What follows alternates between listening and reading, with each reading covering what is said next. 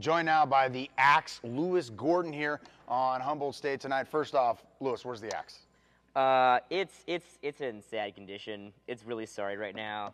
Uh, it's it's uh, the head the head's all floppy and it's duct taped to the handle. Uh, So do we, do, do we need to make like a call to the alumni? We need a new Axe? Uh, you know, I don't have any gigs left that require an you axe. don't no, not really. I uh, in in in the the entire the entire year after every football game, parade, gig where I needed my axe, it's a it's been a constant.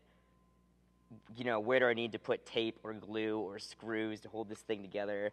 And uh, it, it, it finally finally just fell apart. So. Uh, your Axe gig is actually recently just finished up with the uh, the new year. Talk about uh, obviously the marching lumberjacks are hugely popular.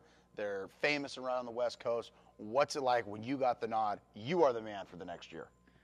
Oh man, uh, tremendous responsibility. And when you when you find out when you when you run for Axe Major and we have an election process, and then when you find out that you've been selected for, for that gig, there's there's absolutely no way you can know what it's like until you've actually done it. So it's uh, it's been the it's it, this this year's been the single largest personal learning experience in my life, and uh, What, what did you learn the most? What was your biggest surprise? I mean, something that caught you off guard, maybe, or the hardest thing you had to do when you got that responsibility. Oh man, um, like like most leadership roles in large groups, uh, realizing that you're not ever gonna make everybody in the band happy, and uh, uh, playing, you know, playing politics and keeping people, getting people to, to, keep coming to gigs. So there's good, some good band drama. Sounds like we could maybe have our own soap opera. Oh man, you could you could make an MTV show out of it. Nice, I like it. Watch out, Jersey Shore. Here comes uh, Battle of the Axe. And, and it, would- and it would actually have music, unlike most MTV shows today. This is true. How about actually? I like that, Louis. I like you. All right. Well, what's uh, the next? What's a piece of advice we give to the next Axe? Oh man. Piece of advice for the next Axe.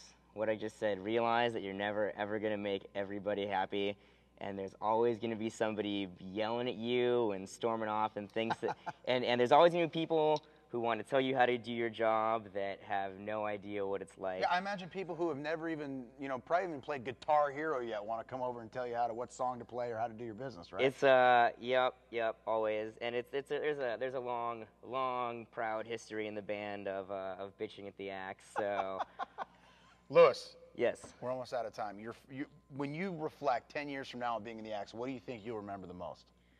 Oh, uh, I'm, I'm not saying this just because I'm on a on the sports program, but but really basketball games, especially away games when when the band is the entire Humboldt State cheering section, and uh, it's it's down down to the wire, and uh, I'm up there stomping in the bleachers and distracting free throws, and and and uh, I.